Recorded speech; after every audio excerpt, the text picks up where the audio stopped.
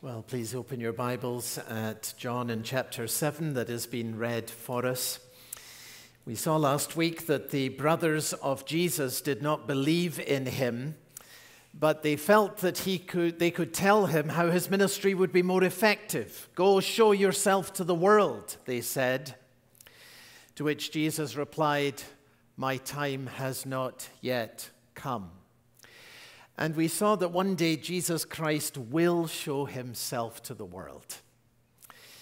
He will come in power and glory, but that time has not come yet, and until it does, we walk by faith and not by sight. So, turning away from the advice that the brothers gave to him, Jesus did not go up to Jerusalem publicly it was not the time for him to show himself to the world, but he did go up to Jerusalem for this Feast of Booths privately, verse 10. So when the brothers and the convoy of people from their community arrive in Jerusalem and Jesus is not with them in the convoy, people wanted to know where he was. Verse 11 the Jews were looking for him at the feast and saying, Where is he? But then, about the middle of the feast, verse 14, we are told that Jesus went up to the temple. He goes discreetly, he goes privately, but he goes to the temple and he begins teaching.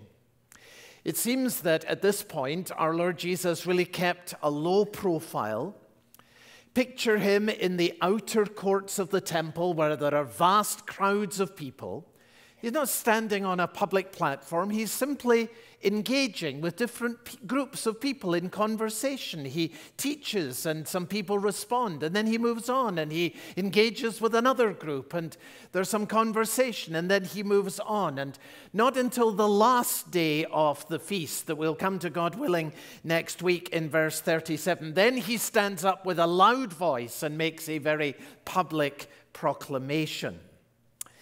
So, we're going to look in these verses at these days in which Jesus was moving among different groups, and there were very, very different reactions to Jesus. I want you to see that in verse 12, for example. There was much muttering about him. I love that phrase, much muttering. Um, you can just get the sense of it. People are Jesus has become a topic of conversation. And while some said he is a good man, others said, no, he is leading the people astray. So there you have a kind of summary of the division of opinion that there was among the people in these various groups in the temple when Jesus went there. More specifically, verse 15 some marveled uh, about the middle of the feast, Jesus went up to the temple. He began teaching, and the Jews therefore marveled, saying, How is it that this man has learning when he himself has never studied? But while some marveled, other people mocked. And you have that in verse 34. You will seek me, Jesus says, and you will not find me. And where I am, you cannot come. And the Jews said to one another, where does this man intend to go that we will not find him? Does he intend to go to the dispersion among the Greeks and teach the Greeks? That is pure cynicism. Jesus, of course, is speaking of heaven. Where he goes, they cannot come. But they respond with pure cynicism and say, Oh, uh, where's he going to go that we can't come? Perhaps he's going on some world tour where, in all the places where Jewish people are dispersed, and uh, he's going to convert the whole world, I guess. And Pure cynicism. So, verse 43 there was a division among the people over him. Very striking statement in verse 43. That's how it was then, that's how it is now, that's how it always will be to all eternity. There was a division over him. And to show you how intense this division of opinion about the Lord Jesus Christ was, if you look in verse 41, you will see there that some said, He is the Christ. But if you look at verse 20, you'll see that others said, He has a demon. Now, you can't get a more divergent opinion than that. He's the Christ, some say. In other words, he is the one on whom, uh, on whom all the hopes of the world depend, the one, therefore, who is to be received and to be welcomed with joy. And others say, he is a demon. In other words, he's a source of evil. We have to get him out of here because there's no place for what he represents here in this community. There was a division among him, them over him. Verse 30 some were seeking to arrest him, but verse 31 yet many of the people believed in him. Now, as we see the very diverse reactions to the Lord Jesus Christ, here's the question that I think very obviously comes before us today from these verses How can you know what is true in a world of competing voices? Because we are still living today in a world in which there are all kinds of opinions about Jesus Christ.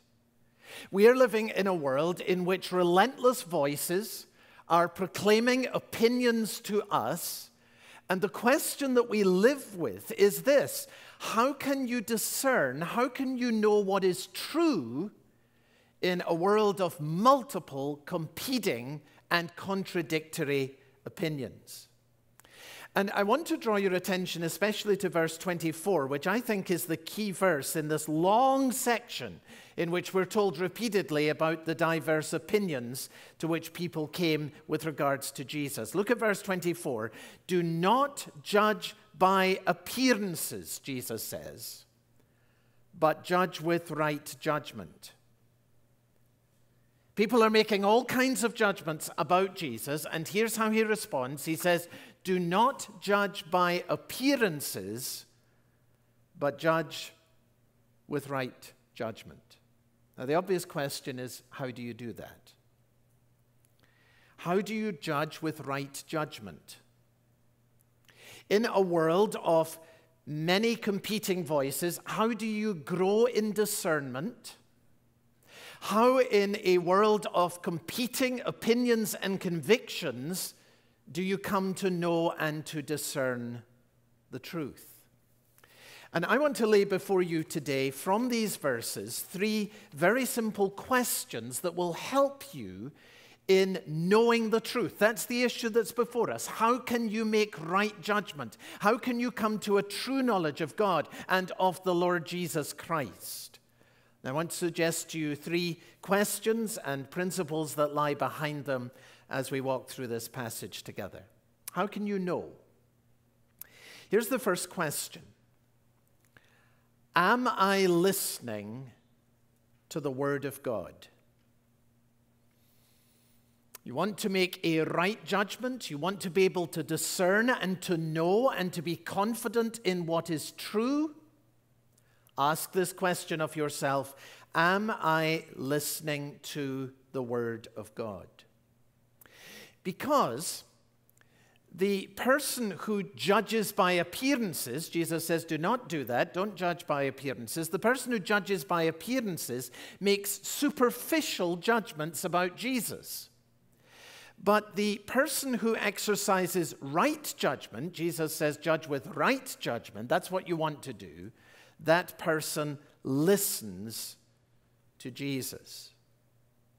Now, that's the significance of why we're told repeatedly that Jesus was in these outer courts of the temple, and what was he doing? Not miracles, but teaching. Remember, the brothers had said, Show yourself to the world. Go to Jerusalem, and you'll make the most marvelous impression if you go and do some miracles there.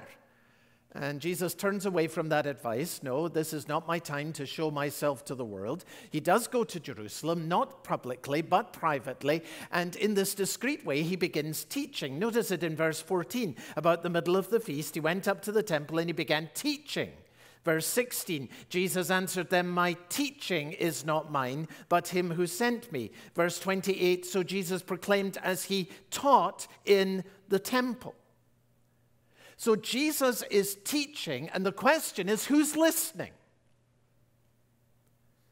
Some are listening, and others, they're just judging by appearances.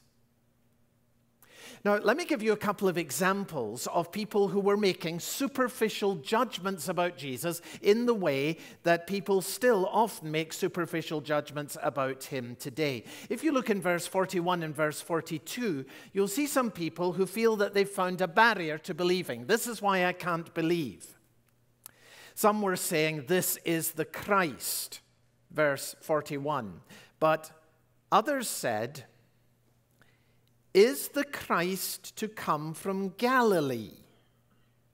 Has not the scripture said that the Christ comes from the offspring of David and comes from Bethlehem, the village where David was? Now, here are thoughtful people.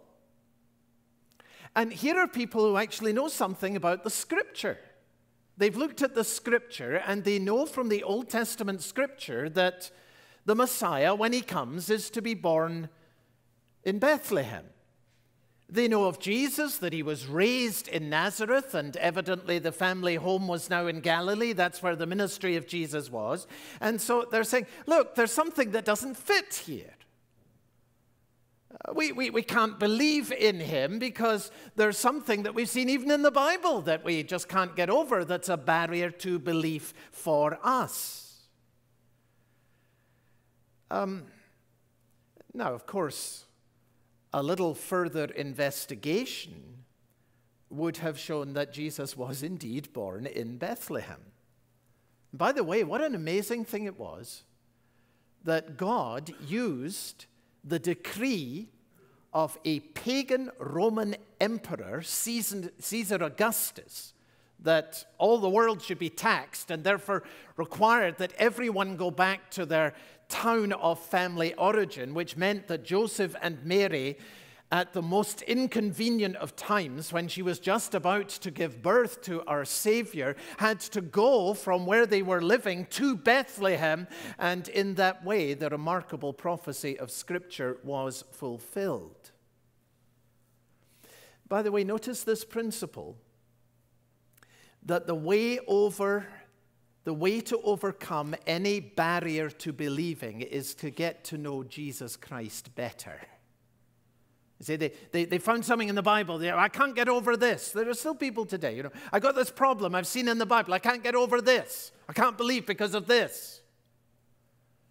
And the way to overcome every barrier to believing is to get to know better Jesus Christ.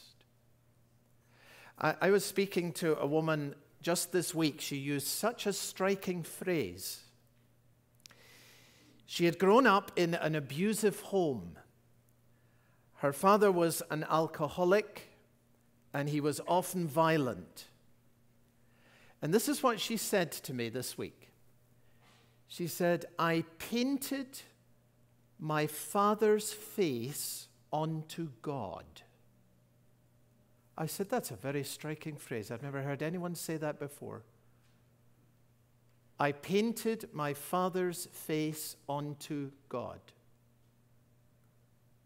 The face of violence.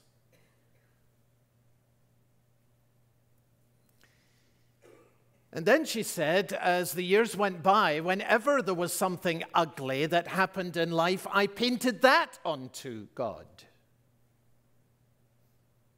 How then could she ever believe in a God of love? And I said to her, How was it that you came to faith then? And she said, I began listening to the words of Jesus. I began listening to the words of Jesus, and she saw that Jesus was very different from her father. And when she came to believe that Jesus was God with us, she came to a very different conclusion about God. Now, you see, the person who judges by appearances, the person who judges by a superficial judgment, uh, this is what happens. That an experience that is very painful, a question that seems unanswerable, just gets painted onto the face of God and becomes then the reason why faith is regarded as implausible and I've made my decision and there's nothing more to be said about it. That's exactly what's happening here. Here are some good people and they're saying, well, we know that, Jesus, that the Messiah must come from Bethlehem and, and Jesus comes from Galilee. End of matter. They needed to get to know Jesus better. And the way to overcome every barrier to faith is to get to know Jesus Christ better. Let me give you another example of superficial judgment that comes in these fascinating verses in John and chapter 7. This isn't so much about a barrier to faith, this is about a prejudice against faith. And you have it in verse 48. Here are the Pharisees speaking. And they say here, have any of the authorities or the Pharisees believed in him? But this crowd that does not know the law is accursed. Now, that is pure elitism. That is sheer snobbery of the worst sort. It's rather like, you know, the sort of phrase that gets thrown around today no scientist today believes this, that kind of thing, you see. Um, only common ignorant people would ever think that this is true. That's the kind of intellectual snobbery that is being expressed by these Pharisees who look down on everybody else. This crowd, of course, there's plenty of people in the crowd believe in him, but they're uneducated. They don't even know the law. I mean, they're accursed, aren't they? You can't get more despising than that. But which of the real opinion makers and former, uh, uh, opinion formers in, in our culture really believe this? Have any of the Pharisees believed in him? Well, actually, the answer to that is yes. And one of them standing right there while this elitism is going on. And guess what his name is? Nicodemus. Verse 50 Nicodemus, who had gone to him before and was one uh, uh, and who was one of them said to them does our law judge a man without first giving him a hearing and learning what he does? Of course they dismiss him immediately you know. My goodness what are you talking about? Why is Nicodemus different from those who are prejudiced against faith? Answer because he had the humility to come by night and sit and listen to Jesus.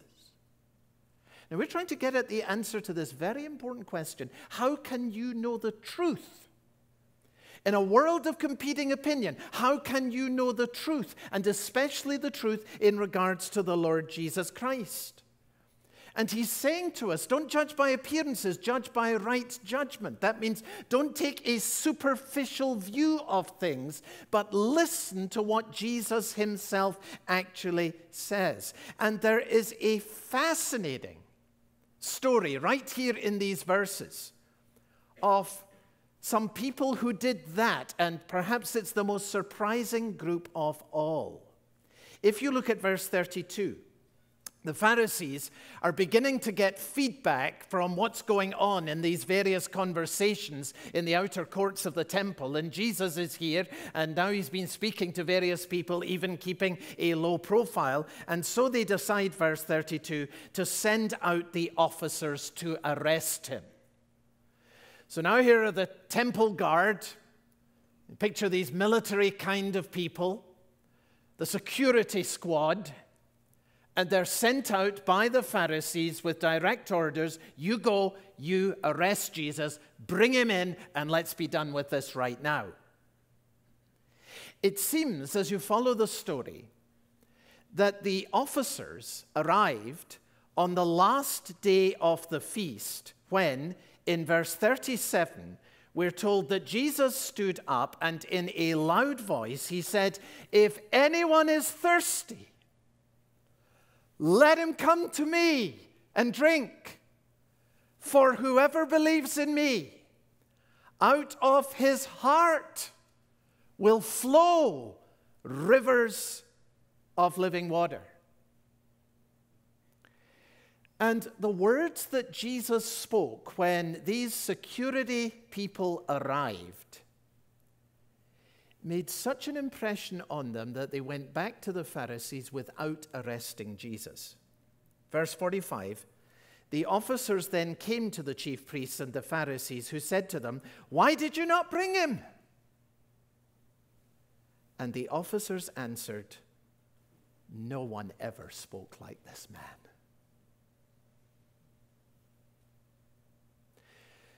Now, I'm telling you, or rather asking you, if the words of the Lord Jesus Christ can bring about that kind of transformation in the heavy mob of security guards who had gone out to arrest him, and they hear his words and they think, We have never heard anyone speak like this, we're not going to lay a hand on him. If the words of Jesus can bring about that kind of transformation in men like that, what would the words of Jesus be able to do by way of transformation in your life too? You want to know the truth? You don't judge by superficial judgment. What are other people saying? What's the peer group on about? Oh, I've come across this problem and I've held on to it for five or ten years, and it's my reason for not believing. I've never really investigated it very further, very much further, but uh, that's my reason why I do not believe. Listen to Jesus. You want to know the truth? You listen to the Son of God. Second question You want to know the truth? Am I listening to the Word of God? Second, am I asking for the help of God? Here's the second thing you want to do as you seek the truth, especially as it relates to Jesus. You, you listen to his words and then you ask for God's help in understanding. And again, let me put the principle this way that those who judge by appearances uh, assume, very simply assume, their own competence to judge. Oh, yeah, we can come to a conclusion about this. But those who judge with right judgment, remember Jesus says, don't judge by appearances, but judge with right judgment. Those who judge with right judgment know that they need the help of God. Now, the Bible is very, very clear on this point that as human beings, we do not, in and of ourselves, as fallen human beings, have the capacity to rightly discern the truth. Listen to how it's stated in 1 Corinthians chapter 2. The natural person does not accept the things of the Spirit of God, they are folly to him and he is not able to understand them because they are spiritually discerned. Not able to discern them. It, it's not within our fallen human capacity to be able to discern the things of God. We need the help of God to be able to know and to grasp the things of God. Jesus said it this way in Matthew in chapter 11 I thank you, Father, Lord of heaven and earth, that you have hidden these things from the wise and understanding, and you have revealed them to little children. So here are the Pharisees in their arrogance saying, Oh, of course, the people in the crowd, they're completely uneducated, and who's going to take the fact that they believe seriously at all as any of the Pharisees believed in him? And Jesus says, here's the explanation that God, in his eternal wisdom, has hidden these things from those who arrogantly assume that we are in a position to judge, but he has revealed them to those who humbly seek after him. That's the principle. Now, our natural assumption, our fallen assumption, the assumption of our flesh, is always first that we have an intuitive ability to know God, that we all know God in our own way. You hear this sort of thing all the time. That our own experience will just intuitively lead us to the truth about God, and that we all have the ability to know who God is. But notice that Jesus says, verse 28, He who sent me is true, and him you do not know. You don't know God. That's what Jesus says.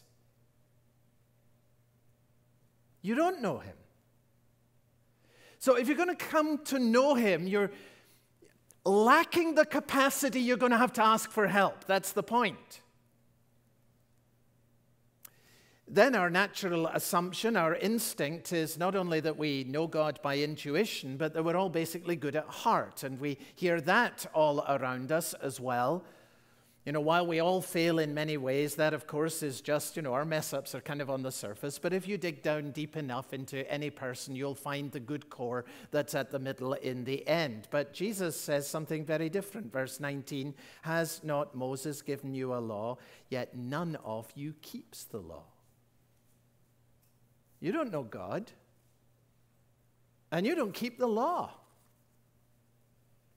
And our third natural assumption first, uh, oh, yeah, we all intuitively know God and we all do it in our own way. And yeah, we're all good at heart. And, and therefore, of course, in the light of these things, our natural fallen human assumption is that in the end, our good will outweigh our bad, and all will be well with us when we finally leave this world and we enter into eternity. But Jesus says something very different. He says, verse 33, I will be with you just a little longer and then I'm going to him who sent me, and you'll seek me, and you'll not find me, because where I am, you cannot come.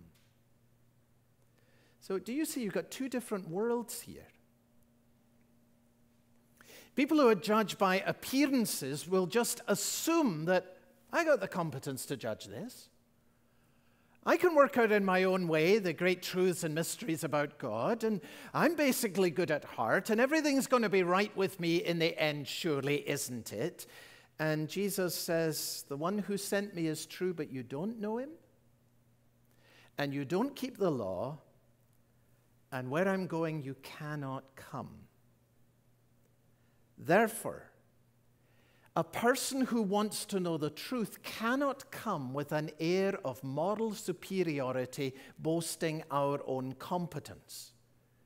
It's not going to work to say, Well, I can come and I can judge all this. I know I can work it all out. The person who wants to know the truth about Jesus has to come to the Bible humbly. And we're given this marvelous promise that I want to lay before you today for your encouragement in seeking after the truth. Psalm 25 and verse 9 tells us that God leads the humble in what is right and he teaches the humble his way. Can you just take that in for a moment? That God leads and God teaches the humble. In other words, if you will humble yourself, as one who will listen to the words of Jesus rather than bringing all your prejudices and all your objections, become teachable in learning from Jesus Christ. God Himself says, I'll lead you, I'll teach you. You don't have the competence within yourself to come to know God. None of us does. You don't have the ability to open up an entrance into heaven or to live the life that is pleasing to God. But if you will come with humility,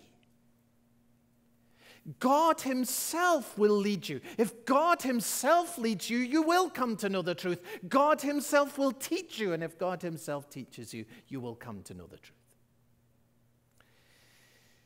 So we're asking the question in a world of diverse opinion, in which all kinds of conclusions about what is true are being thrown at us all the time. How can you grow in discernment? How can we be people who become settled in regards to the truth? How can we know it? How can we pursue it? And we're saying it has to be by listening to the Word of God, and it has to be by asking the help of God. Is that what you're doing? And then there's one more thing. Am I submitting to the will of God? And here the principle again is very simple. The person who judges by appearances focuses on opinion. The person who judges with right judgment knows the power of the will. And I want you to see the very important statement of verse 17. Listen to what Jesus says if anyone's will is to do God's will, he will know whether the teaching is from God. If your will is to do God's will, you will know. In other words, in order to know, you have to will. You say, now, isn't it the other way around? Don't we have to work it all out? Don't we have to get it all settled? Don't we have to know it all before we're going to desire to do it? No, Jesus says. You're never going to come to a true and settled knowledge. You will never come to a true knowledge of Jesus Christ unless and until there is a desire in your heart to follow after the path on which He leads you. This is what that means that knowing the truth can never be a purely intellectual quest. Because what you think will always be shaped by what you desire.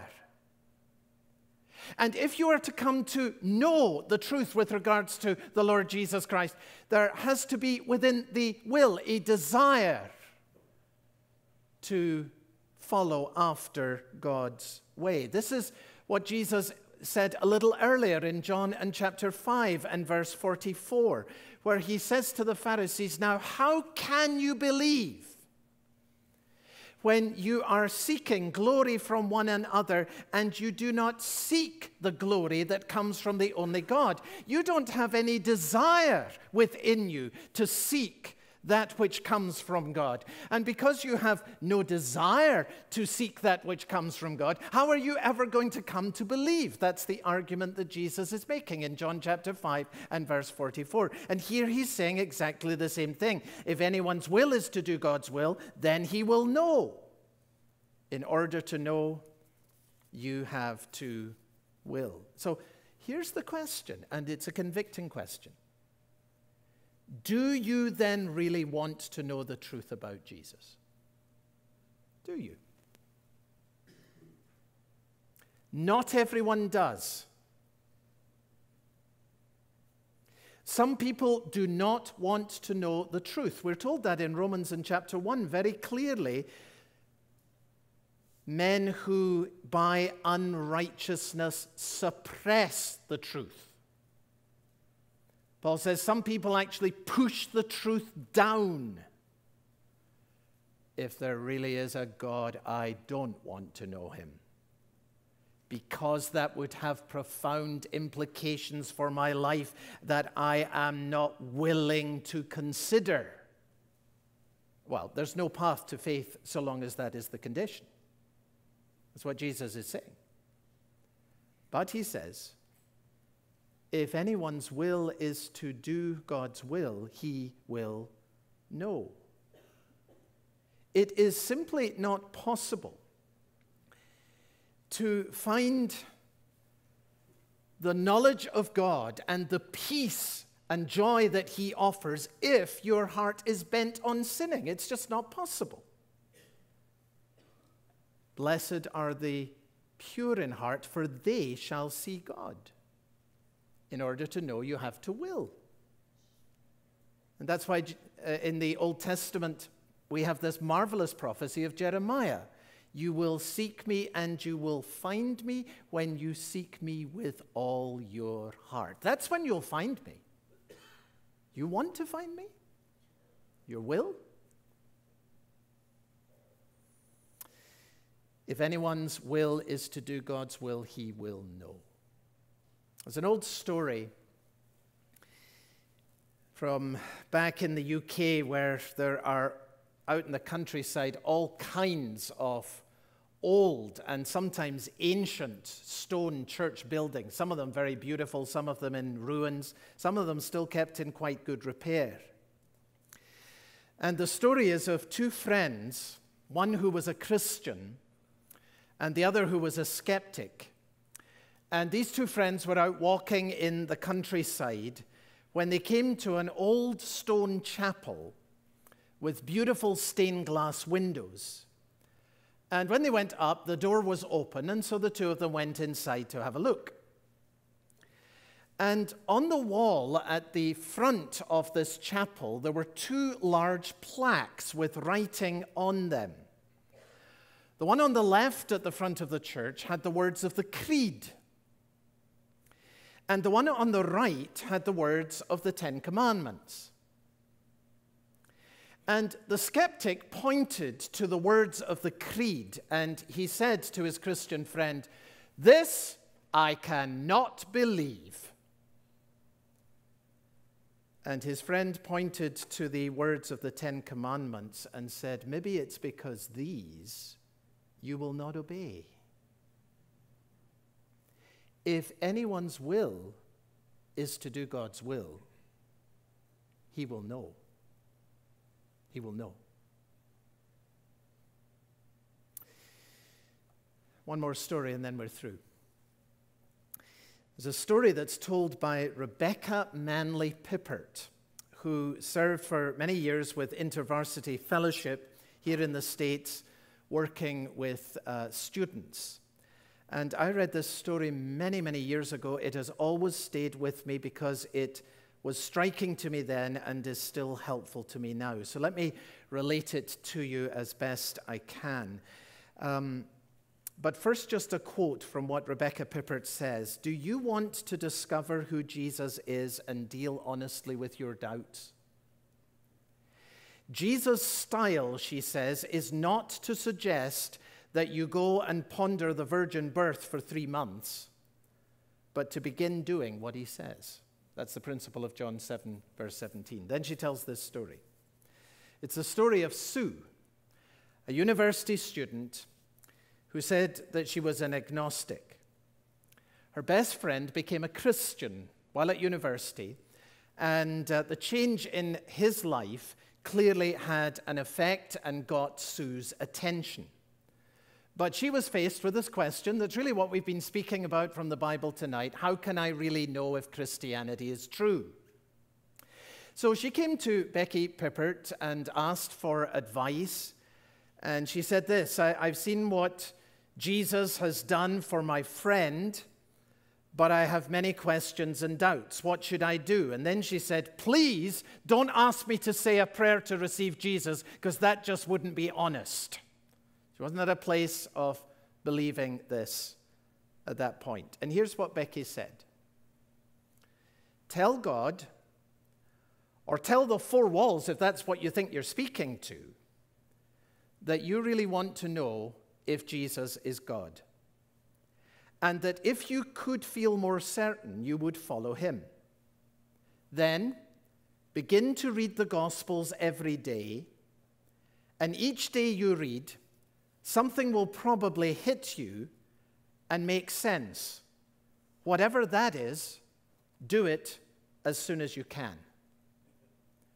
So Sue says, That sounds radical but I'll try. A few days later, Sue reads in her Bible If someone steals your coat, don't let him have only that, but offer your cloak as well. She says, For whatever reason, that verse hit me between the eyes. So I said, God, if you're there, I'm going to do what this verse says. If the opportunity arises today, I want to remind you that I am trying to do things your way in order to find out if you really exist and if Jesus really is who he says he is. Amen. She adds, The day went by and I forgot the verse. Then she describes how in the evening she went to the library to work on her thesis. She arrives at her designated desk in the library, and another student comes up to her and starts yelling.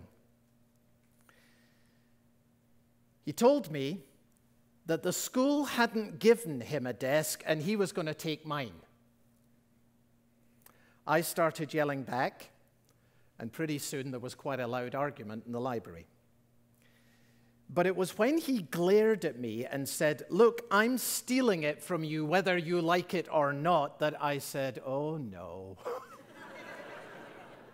I can't believe it. I thought to myself, God, if you're there, and I do want to know if Jesus really is God, but isn't there some other way of finding this out besides obeying this verse? But I couldn't escape from the fact that I had read the verse that very same morning, and now this person was trying to rob me. I took a deep breath, tried not to swear, and said, Okay, you can have the desk. At this point, the librarian arrives because there's been a, an argument, a loud argument that's going on in the library. And the librarian knew, of course, to whom the desk belonged. So she comes to try and sort this rumpus out. And when the conversation has ended, Sue says, He can have the desk. When the librarian leaves, this guy grabs her by the arm and says to her, Why in the world did you let me have it? Quote, I told him he'd think I'd really flipped out, but I was trying to discover if Jesus really was who he claimed to be. And I was attempting to do this by doing the things that he told us to do.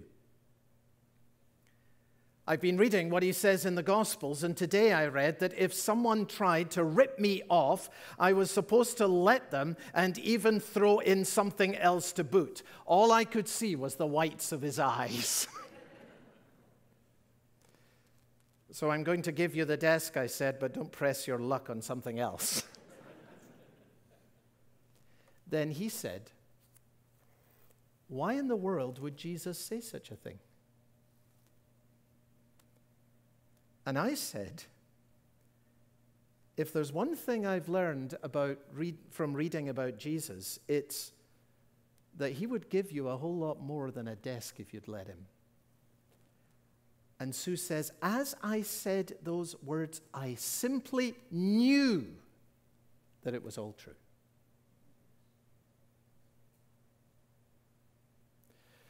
Now, if you're getting hung up on trying to rationalize you know, standing up to bullies and all this kind of thing, you have completely missed the point. Here was a young woman who sincerely from the heart willed to do God's will. And by that means, one who was listening to the words of Jesus, humbly asking the help of Jesus submitting herself as best she was able to discern what that meant to the will of Jesus, found that Jesus brought her to a place where she knew. How are you going to know the truth? In a world of competing and contradictory voices and opinions, listen to the Word of God. Ask for the help of God Submit yourself to the will of God.